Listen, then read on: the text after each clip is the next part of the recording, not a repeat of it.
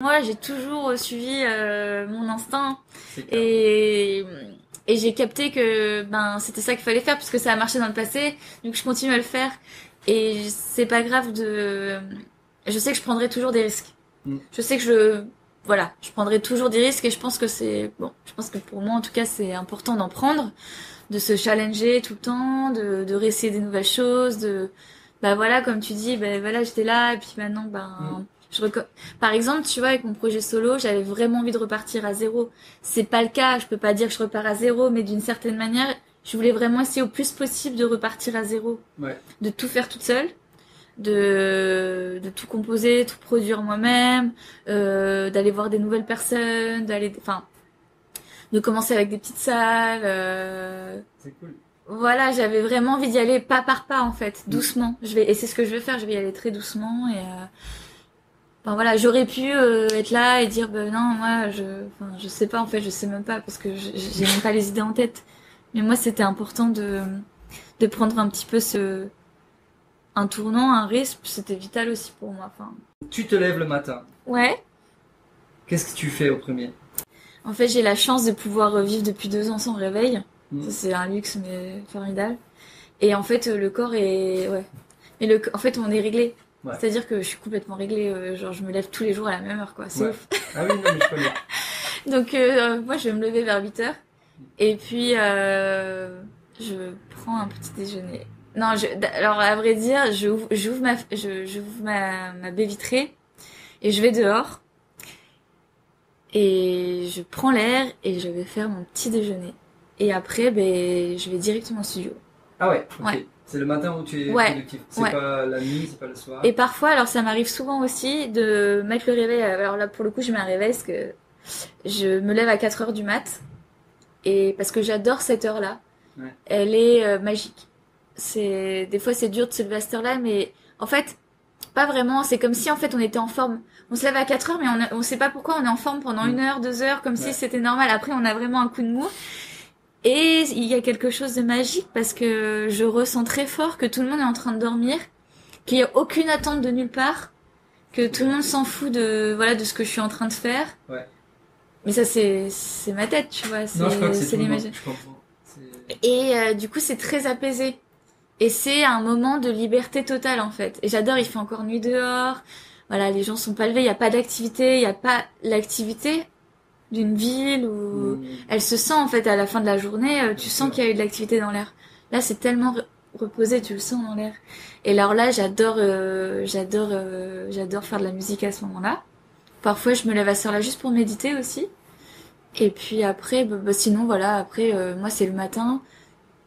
Et puis ce que je fais après en fin de journée, ce que j'aime bien c'est m'occuper de mon jardin, m'occuper Ouais. voilà de de plus relâcher. Mais j'adore travailler le matin et j'adore avoir des. Enfin, je suis quand même quelqu'un de très euh, routinier. Ouais. Enfin, et du coup, euh, je trouve que c'est génial de pouvoir avoir euh, des journées entières dans un studio et au calme en fait, de profiter au maximum. Et puis après, On peut faire des trucs avec des mains. ouais, exactement, relâcher ou dessiner, écouter du son. euh, J'aime faire. euh, Qu'est-ce que je fais? Je fais pas grand chose. Il y a pas grand chose à faire où j'habite, hein, mais on peut. Je fais du yoga un petit peu aussi. Et puis j'aime bien juste regarder ce qui se passe par, euh, enfin dehors. Et puis euh... ah, il y a un piano aussi. J'aime bien pour me mettre au piano. piano Ouais, non, il est électrique. On a j'ai un piano depuis pas longtemps. La tristesse. Ouais, mais tu sais c'est. c'est difficile. et puis sinon j'aime bien descendre au village et euh, aller manger un bout. c'est très simple. Hein. Par contre j'ai une vie du coup très euh, comment dire. Euh... Bah, un peu monacale parce que y a pas d'alcool, il y a pas de soirée, il y a rien, donc je, je bois pas, je sors pas. Comme je te disais, c'est, je suis assez réglée quoi. Bah, c'est bien pour créer. Moi, en tout cas, c'est pour moi, ce sont les meilleures conditions euh, pour créer. Ça, bah, clair, pas Ça, de. ça dépend des, des, des personnes, mais euh, moi, j'ai besoin d'un calme. euh, j'ai besoin de beaucoup de calme Mm. et de de, de, de- de solitude aussi. Une petite fille de 10 ans, elle vient après le concert, elle Ouais. va te demander euh, je, veux, je veux aussi devenir chanteuse. Ouais. Qu'est-ce, que je fais Ça m'a. Toujours cette question. En fait, euh, ça m'est déjà arrivé. Ah ouais? Ouais, Cool. ça m'est arrivé une fois et j'y avais jamais pensé. Genre, il y a une petite fille, c'est une, une, une voisine de mes parents. J'étais rentrée chez mes parents et elle m'a dit euh, je rêve de devenir chanteuse. Et comment t'as fait en fait? Comment Mm. t'as fait pour réaliser ton rêve? Et j'étais bien embêtée pour répondre parce que la vérité, c'est que j'ai jamais voulu devenir chanteuse. et que je le suis devenue malgré moi parce que on parle de musique, moi c'est avant tout la musique. Mm. Moi j'ai toujours joué de la musique mais sans chanter. J'ai Ouais. toujours fait des morceaux instrumentaux, tout ça. Après je suis rentrée dans, dans la femme, il a fallu que je chante. Mais j'avais jamais chanté. Et j'avais une voix euh, incontrôlée, enfin incontrôlable, je, je sais pas, c'était vraiment brut. Je chantais faux, je j'ai chanté faux pendant longtemps. Ça a été euh, parfois douloureux de, enfin, dans, enfin, euh, ma voix était très étrangère en fait. Il a fallu que je la, je la, enfin que je l'adopte et puis qu'après que je, que je la façonne, que je m'y fasse, que je la travaille. Mm. Et ça a été un long, ça a, ça a duré longtemps. Et du coup, j'ai rarement, j'ai eu peu enfin, pendant très longtemps, j'étais pas à l'aise avec ma voix et avec le fait de chanter. C'est la, la Ah oui. réalité. Donc en fait, moi, je me serais bien abstenue d'être chanteuse pendant longtemps. Et, euh, et puis en fait, quand euh, quand j'ai réussi à l'apprivoiser et puis euh, à m'exprimer avec, Mm. ça a été un réel plaisir. Et maintenant, je, maintenant- voilà, maintenant c'est un vrai plaisir. Donc, euh, mais du coup, je serais bien embêtée de répondre à cette petite fille. Je lui dirais que que peut-être que des fois les choses elles arrivent. Enfin aussi il y a des choses qui arrivent alors qu'on n'a pas envie et puis elles sont là et puis en fait c'est parce qu'elles doivent être là en fait. Ouais. Et moi maintenant je me sens tellement épanouie dans la chanson, dans le chant, dans, dans l'expression avec la voix que je remercie la vie de m'avoir donné cette opportunité de la travailler. Mais euh, Donc, plus généralement, réaliser ton rêve, comment tu. Plus- tu- quel conseil pour. petite- Ouais. non, mais c'est non, c'est- bah tu sais ça va être un peu bateau mais c'est Ouais, de c'est c'est c'est c'est de je sais pas. Il y a eu plein de fois où j'y ai plus cru mais il y avait quand même une force quelque chose qui m'a attiré vers ça qui m'a attiré vers euh, c'est non je vais te dire c'est déjà moi ce que j'ai appris je le savais pas à l'époque mais ce que j'ai appris avec euh, le temps c'est que tout est possible. Et ça c'est vrai. Et la vie est magique. Mm. il y a vraiment de la magie partout dans la vie.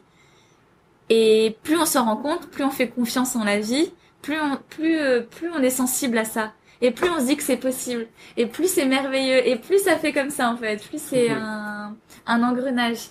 Donc je voudrais peut-être lui dire eh ben peut-être t'as pas l'impression que c'est possible mais c'est possible c'est possible Magnifique. Ça, j'aime bien comme réponse. Ça, j'aime bien. c'est vrai Qu'est-ce que tu fais contre la traque? Il y a un moyen de... Ben ouais, alors j'ai jamais trop su quoi faire jusqu'à ce que je découvre euh, la méditation, qui m'aide énormément euh, pour gérer le trac par exemple. Donc, tu fais la méditation avant ou... Non, c'est plus un, une- un état d'esprit, c'est genre je vois le trac et du coup je sais l'observer maintenant. Ah, Donc je me dis ah bah voilà il est encore là et du coup euh, je l'observe et du coup il me prend, je réagis moins en fait. Et puis, euh, je fais des techniques de, de respiration. Par exemple, ce qui m'aide beaucoup, c'est d'observer ma respiration. Et ça, euh, si j'arrive à être focus même 30 secondes là-dessus, ça, ça me calme. Cool. Et puis, euh, ce que j'aime faire, c'est des étirements. Et puis, je suis vachement rassurée. J'ai beaucoup moins de trac quand j'ai bien échauffé ma voix aussi. Ok.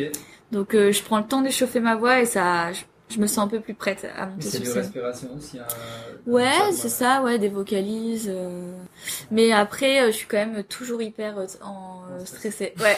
et ça, depuis, ça fait dix ans qu'avant de monter sur scène, c'est toujours le même Vous cinéma en fait. Ah non, C'est toujours le même cirque. ouais. Et euh, le moment où tu étais pro de musique, ça, ça a changé grave quelque chose dans toi ou tu, tu l'as pris comme ça et tu te dis bah c'est normal, c'est le. Mais en fait, non, c'était, c'est, j'étais un peu, comment dire, j'ai jamais pensé à ça, mais euh, ce qui se passe, c'est que ça, ça a été très vite. Et il y a eu beaucoup de travail, et beaucoup, ça a été beaucoup de concerts et tout ça. Donc Mm. en fait, c'est beaucoup, c'est beaucoup de d'efforts, Mm. c'est beaucoup d'énergie, beaucoup de fatigue, beaucoup de beaucoup, beaucoup, beaucoup en même temps. Ouais. Donc en fait, euh, tu, re- j'ai pas trop, je réalisais pas. Et bien sûr, je me disais c'est c'est fou ce qui m'arrive, mais en même temps, euh, t'as pas le temps vraiment de savourer tous les jours parce que euh, parce qu'en plus il y a des ajustements à faire au jour le jour, euh, il y a de la pression, euh, Ouais. voilà, faut s'améliorer. euh, et en fait, euh, tu, enfin, j'ai juste voulu donner le meilleur de ce que je pouvais donner. Et du coup, je pensais pas forcément. En plus, on était plus souvent. Bah, j'étais tout le temps partie en tournée, donc en fait, euh, Ouais. c'est une autre vie. Donc, euh, j'ai, je, comment dire, je, je me suis pas dit ah là, euh, Wouhou. ouais, voilà. Mais après, euh, après, et après, après quand ça s'est un peu calmé, je, j'ai réalisé la, la chance que j'avais en fait. Mm. Mais la chance que j'avais de, de pouvoir en vivre. Euh. En fait, c'est ça, c'est ça que voilà. Enfin, je suis, je suis, je, comment dire, je suis légitime. Enfin, tu vois, ça légitimise un peu Bah, aussi. exactement, ça légitimise de faire que la musique. Ouais, Avant, voilà, tu te dis, voilà, il y a plein de gens qui étaient là, mais n'importe quoi, tu Ouais. vas pas faire ça, euh, euh, c'est hyper dur de, de vivre de ça, euh, Ouais. c'est pour, mes parents, ils étaient dans, ils avaient un discours du genre, c'est pour des fins, tu vas pas devenir une saltimbanque, enfin, tu vois, c'était Ouais. un peu, et en fait, le fait de pouvoir en vivre, de pouvoir se payer son appart, de pouvoir euh, voyager, de pouvoir dépendre de personne, ça fait que, euh, bah, ça légitime le, truc, quoi. Trop cool. Ouais. Et maintenant, tu profites de ça. Ouais, ouais, ouais, après, euh, je te, je te dis pas que, voilà, par exemple, euh, en fait, c'est, c'est, tu, tu gagnes ta vie. Enfin, moi, j'ai gagné ma vie, mais euh, c'est un équilibre très précaire. C'est-à-dire que dès que t'as plus de date, eh ben, t'as plus de rentrée d'argent. Mm. Donc, en fait, euh, euh, j'ai été, j'ai été, j'ai eu la chance de pouvoir être intermittente du spectacle pendant 8 ans. Mais là, par exemple, je le suis plus. Parce Ouais. qu'il y a eu une grosse période de vide, sans concert, et du coup, j'ai plus aucun revenu. Ouais. Donc, euh, donc euh, c'est là par exemple, je suis dans une période très précaire. donc euh, voilà. C'est- Mais c'est pas grave parce que je je- je- je- j'essaie de m'en sortir comme je peux et euh, parce que l'idée c'est de pouvoir euh, continuer à de faire ce que je fais, tu vois, et de pouvoir euh, d'avoir le minimum pour vivre, tu vois.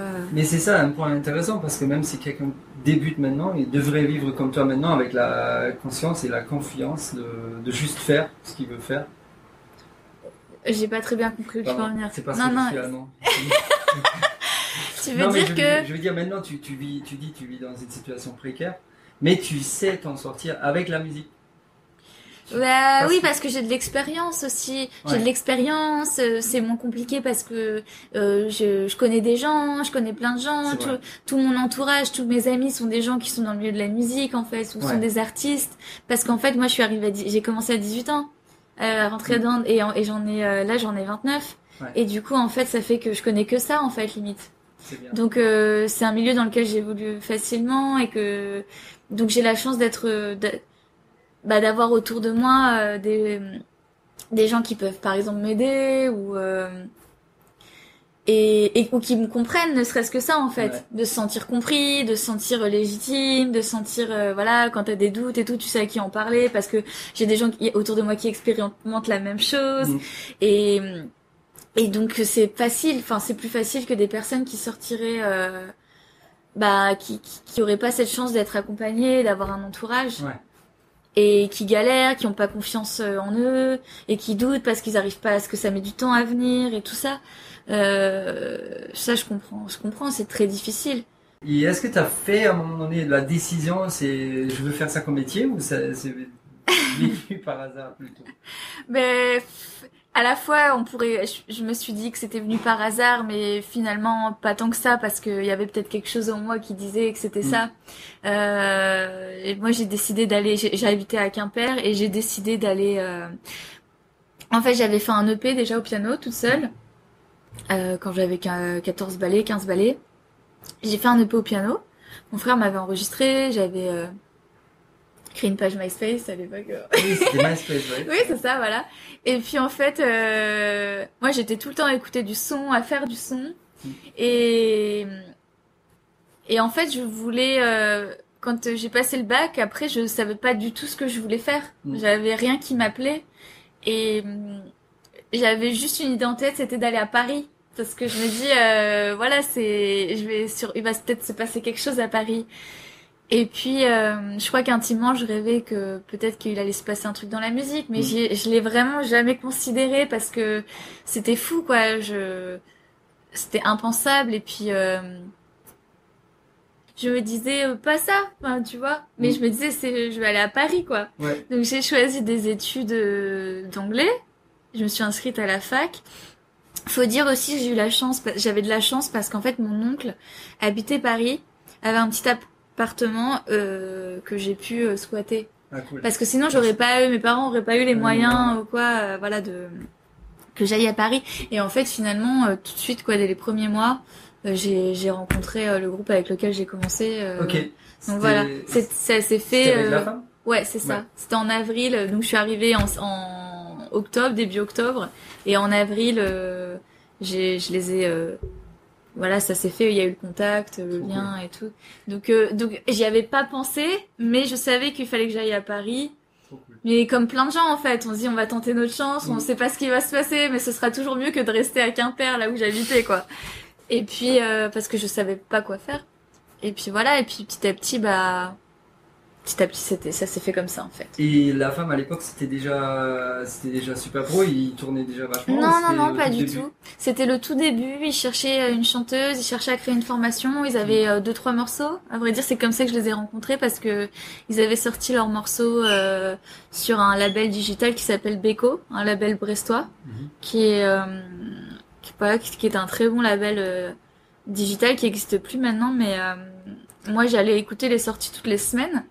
Et j'ai écouté euh, voilà la sortie de cette semaine-là et c'était la VAM et ils avaient trois maquettes, enfin trois démos euh, et j'ai j'ai adoré. Donc en fait euh, allé tout le temps écouter euh, sur leur leur page et puis en fait le lien s'est fait parce qu'ils ont vu que je venais les voir tout le temps que quand même ils ont vu que moi aussi je faisais de la musique et puis ils m'ont appelé euh, j'ai passé un casting bon, j'étais la seule quoi. Et puis euh, on a commencé comme ça en fait. Cool. ouais ouais Et après, c'était 8 ans, je crois. Vous avez tourné. Ouais, ouais, 8 ouais, c'est ça. folie, quoi. Ouais, c'est ça. Ouais, même plus un petit peu. Ouais, c'est ça. Ouais. Ouais. C'est Et- ça. En fait, à la base, on devait, il me dit, ouais, voilà, on cherche une chanteuse parce qu'on a un concert, euh, un gros concert à Biarritz cet été. Et en fait, ils avaient un petit peu bluffé auprès de l'organisation, si si, enfin, si je me souviens bien, ils avaient fait croire que, voilà, c'est déjà, en fait, il n'y avait pas eu de concert encore, donc, euh, il fallait trouver un groupe, fallait répéter. Et du coup, on avait fait quelques salles à Paris, euh, des petites salles. Et Mm. puis, il y a eu ce gros concert, du coup, à Biarritz. euh, et puis après, ben voilà, on a continué ensemble. euh. Et c'est euh, à partir de là que tu as commencé aussi de gagner ta vie avec la musique. Ouais, Ou ça a mis, ouais, ça a mis, euh, ça a mis un peu, je crois deux ans, un truc comme ça. Et Ouais. puis euh, j'ai, après, après voilà, il y a eu ça, on avait pu avoir un petit peu d'argent et puis c'est ça, on a. Vous avez tapé à côté avant pour pouvoir euh, réaliser votre rêve. Quoi, c'était au début Ouais. des premiers deux ans, chacun a eu des petits boulots à Mais côté. alors en fait, euh, moi, euh, moi, j'ai jamais travaillé à côté, mais je vivais avec. Mais je vais te dire, tu sais, je vivais avec 250 euros par mois. Ok. Donc je sais même pas comment j'ai fait en fait. C'est ça me paraît impossible maintenant. Bah comme je te disais, j'avais pas de loyer à payer. Ça Ouais, c'était très bah oui. pratique. Ouais. Et puis euh, bah je mangeais pas grand chose et puis je sortais pas et puis voilà. Mais euh, ça s'est fait comme ça. C'est aussi un travail. C'est aussi un avec- Mais oui parce que comment tu tu, tu, tu te débrouilles. tu te débrouilles et puis euh, voilà ouais. Comment tu as commencé? C'était quoi le premier pas euh, C'était ta famille qui t'a initié à la musique ou c'était toi seulement, tout seul qui s'est intéressé? Euh, la musique, euh, finalement, ça fait. Finalement, la première impulsion, elle vient de ma famille parce que euh, mes parents, enfin ma mère, a eu l'idée euh, de m'inscrire à l'école de musique quand j'avais, euh, je crois, 4 ans. Mm. Et ma sœur aussi, elle a eu la même idée pour ma sœur. je sais pas pourquoi les autres, euh, pour les autres, parce que j'ai deux, autres- j'ai, en fait, on a, je- Ouais, on est quatre. Mais euh, du coup, ma sœur et moi, on a suivi des études de solfège à l'école de musique et c'était un calvaire pour moi. Je détestais y aller. Je comprenais rien du tout à ce qui se passait. Je comprenais rien. J'avais des énormes blocages. euh, voilà, c'était euh, c'était très euh, comment on dit euh, conflictuel. Ouais. Et mais j'y allais quand même. Et puis j'ai été prise dans la classe de piano. À la base, je voulais faire de la harpe. Moi, j'ai toujours rêvé de faire de la harpe. c'était le seul truc qui me branchait à faire du, de la musique, c'était de faire de la harpe. Mais les cours étaient chers. Il y Ouais. avait pas, il y avait euh, pas de cours à l'école de musique. Fallait prendre des professeurs particuliers. Voilà, donc c'était un peu plus cher. La harpe coûte cher, tout ça. Ah donc oui, oui, euh, voilà, c'était une, une autre dépense et euh, du coup, euh, mes parents m'ont m'ont demandé de choisir un autre instrument, mais euh, vu que j'ai pris le piano. Et voilà, et ça, j'ai, ça, j'ai, ça, j'ai bien aimé. Mais c'était quand même très dur J'y arri- j'a- j'arrivais pas à bosser. Ouais. euh, euh, fallait passer des examens, euh, voilà, tous les ans. Il y avait des représentations trois Mm. fois par an, euh, des, des contrôles et tout ça. Oh là là. Ouais, c'était un petit peu, un petit peu dur. Et J'inventais toujours un prétexte pour pas y aller, euh, que j'avais mal au ventre, que j'étais malade, euh, tout ça. Mais euh, pourtant, j'avais mon piano qui était dans ma chambre. J'avais la chance d'avoir un petit piano dans ma chambre et j'adorais euh, passer du temps dessus en fait. Ouais. Mais seulement, c'est juste que c'était en, euh, c'était en contradiction avec la, la manière euh, de l'école. Même si, euh, voilà, heureusement que j'ai eu euh, un enseignement musical, enfin, qui me sert maintenant et que parce que en fait, j'ai eu un un un shift, on dit comme ça, ouais, un, un shift. Ouais. Re- j'ai redoublé en fait. Et en fait, à partir de ce moment-là, j'ai commencé à comprendre. Et là, ça a commencé à m'intéresser. Et puis, quand j'ai commencé à être beaucoup plus à l'aise sur le piano, à faire mes propres compos, bah j'avais 12 ans quoi. Ouais. Je commençais à voilà, moi je commençais à me balader sur le piano toute seule, machin machin, je bah c'était un défouloir en fait. Ouais. C'est voilà, je, je me dé- je me défoulais comme ça et ben j'y prenais beaucoup de plaisir. Et puis euh, bon après j'ai déménagé, j'ai arrêté le- les cours de piano. Mais sinon euh, j'ai continué le solfège très longtemps. J'ai eu mon DFE et tout ça, j'ai eu le le diplôme. Mais sinon euh, s'agissant de des enfin de la de l'écoute de la musique et tout ça, on a j'ai pas grandi en écoutant de la musique euh, j'ai j'ai plus enfin je veux dire c'est pas mes parents qui m'ont euh, inculqué mes parents Mm. écoutaient pas de musique quoi Ok. ouais ils écoutaient pas du tout de musique mon père euh, euh, écoutait des fois quelques albums de musique classique donc peut-être enfin peut-être que ça m'a influencé ça ça j'en sais rien Euh, il y avait toujours le même album pour Noël il y avait de la musique à Ouais. Noël et c'était Ouais. toujours c'était les, les petits chanteurs de la Croix de Bois tout ça c'était toujours le même album mais sinon, on n'a pas du tout euh, grandi dans la musique. C'est plus euh, moi, je m'y suis intéressée toute seule avec mon grand frère aussi, et on a commencé à écouter des scuds. euh, et puis voilà, euh, voilà. Et Oui, est-ce que t'as un rêve j'aimerais composer des musiques pour des films Ouais. et faire des créations ouais, sonores pour euh, pour l'image. J'aimerais euh, savoir euh, jouer euh, des avec des synthétiseurs modulaires. J'aimerais euh, vivre une expérience de de complète enfin de dénuement total vivre dans une forêt par exemple avec Ah pas ouais? grand chose ouais ouais, ouais, j'aimerais expérimenter ça pouvoir voir comment je m'en sors de après qu'est-ce que j'aimerais faire? C'est déjà beaucoup. Ouais, c'est bien. J'aimerais quoi? J'aimerais, euh, j'aimerais toujours voyager. Je, ça, j'ai, eu la chance, j'ai une chance énorme de voyager beaucoup, et et j'adore ça. J'adore aller à la, à la rencontre, bah, de, de, de culture nouvelle, quoi. Et puis après, euh, j'aimerais faire une famille aussi. Ça, je pense que c'est une super euh, expérience. Et puis après, euh, Beaucoup de travail. ouais, beaucoup de travail. Ouais, mais j'ai l'impression. Ouais, mais je vois ça comme euh, comme comme une création en fait. C'est une création. Ouais. voilà, c'est après bon. Non, mais là, pour l'instant, j'ai plein de rêves. hein, mais bon.